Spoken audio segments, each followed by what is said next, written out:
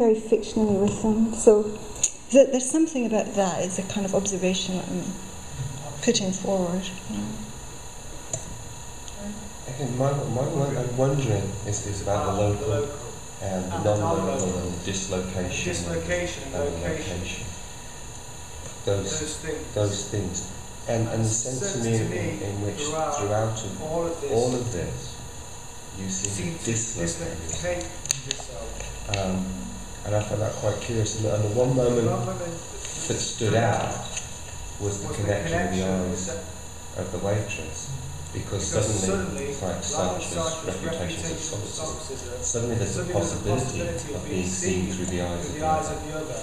And it doesn't happen. Suddenly you go into a you fantasy world world. what. I was curious I was quite curious about that because that seemed Because that seems because to there seemed to be a a possibility, possibility of, of entering into that look. look And imagining and how imagining you how see you were seen, and that would localize you. you.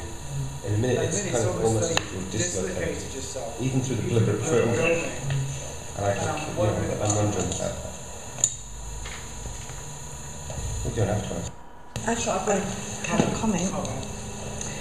Uh, which is that I, th- I think I've been thinking a about humility in relationship to To sight. sight. As an As an artist, artist. In, a, in a site full of people and, and how I feel there's a I feel sense of there's humility that one has to, one can one can choose choose to find. And I'm, I'm going to ask that ask that horribly obvious question, obvious which question. is about How, how how you feel about feel about that in in relationship to um, issues that we might talk about in relationship to ethics ethics and and those those people people and and sharing Yeah. here, but, but also beyond. beyond. Yeah. But, but for me, it's about So so the next step is about you sharing that in these kind of situations. I hear what you're saying about you need to record people, and as soon as, absolutely, as soon as the camera is on people, that they change. But then you're not just doing that in that research environment. Then, you're then bringing it. There seems to be something that complicates and simplifies the ethics of this event, this event that we're here at, and the event for this recording, which is to do with the way in which you're layering the recordings. So there's a sort of um, get out clause in the fact that the image we see doesn't represent the thing that you're talking about, doesn't represent the text, doesn't represent what you're talking about live. So we kind of deconstruct the ethics of all of those recordings. At the same time, that kind of makes it even more even more complicated ethically um, because of the way in which we come to encounter this event. So we've got all of these representations that are making uh, demands of our attention we start to put things together. So you start to think about whether or not the woman in the white top who looks a little bit like she could be a waitress is the person you thought about went to have a shit. And maybe that's a bit wrong. And so you're starting to make us encounter something that we then have an ethical responsibility to. I don't have an answer for that, but I think that you you need, for me, if you're going to address ethics, which I think you have to address because you're videoing somebody representing them without the knowledge, start to disentangle the way in which all of those representations are put together and composed artistically, which I think is both. Interesting. Yeah, I think it's really interesting bit of work, but I think it's problematic and quite simple. A little bit going in the direction of having a lot of different perspectives in there. There's a kind of a different interaction. interaction and perspective. If you think about the Sage Schliemann and his work of the 60s and happenings, where I think there was interaction, there was stage performance, there was something literally coming out. You are not interacting with those persons that they know of it, or there's some a stage component to it. Yet it's not only then being performative, it's also you being voyeuristic. And then you also bringing in something like the mode of the stream in the consciousness, which then creates even a third thing between voyeurism, performativity, and your own stream of consciousness. So all of this is a, kind of a complicated change of perspective.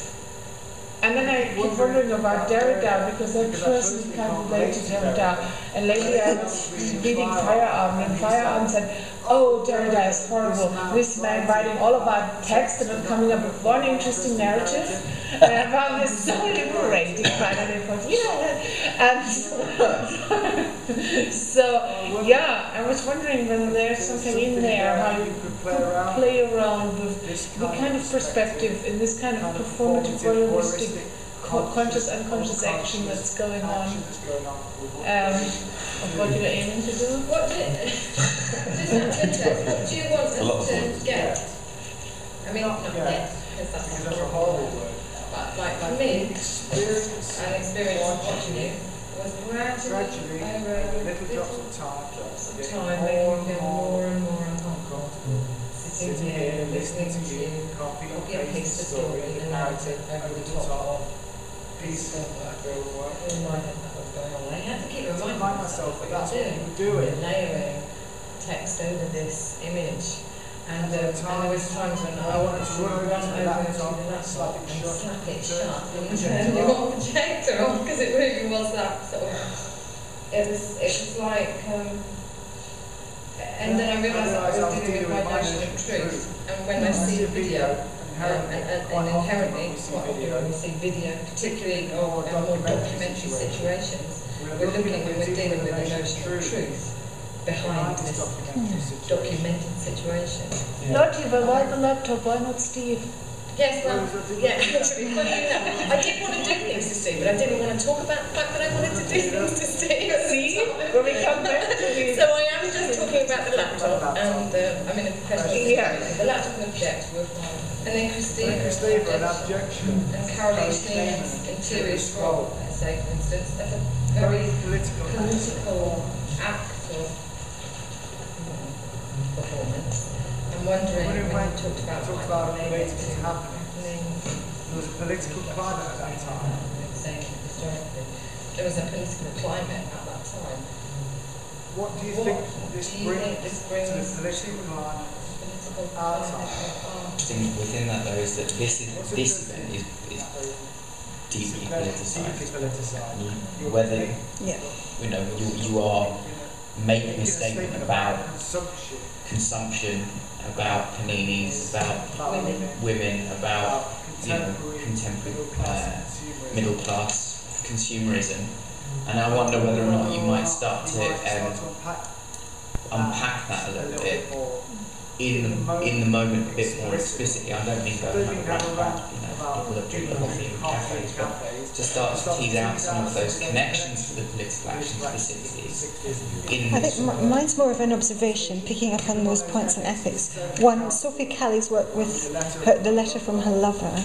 You know, if we're going to talk about ethics, well, you know, if if that art, which was so accepted in the world, can be okay ethically, well, why can this not be?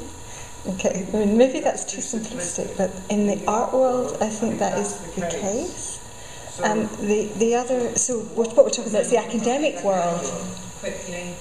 Um, so uh, I saw it through here, and without my glasses, I'm short-sighted, uh, and I found it very interesting. And what came to the fore for me was you, and so the choices that brought in and out, the different disruptions that occurred, the disruptions of your voice, the constancy of your wandering and wandering around these things. Um, and so I think that the people in the video are not really what's for my, from my experience, that's not what's foregrounded. Um, there's something about the presence of digital media being so everyday now in de Certeau's uh, sense. You're, you're working with the, the practice of um, everyday life kind of thing. So uh, I'm accumulating this into an argument for ethics. Um, when we walk in the street, we're videoed constantly. Our picture can be put out on the television if a crime happens near us, and there's not an ethical problem with that. What are you doing with those videos? You're not actually, you're playing very fictionally with them. So th- there's something about that. It's a kind of observation I'm putting forward. Yeah. I think my, my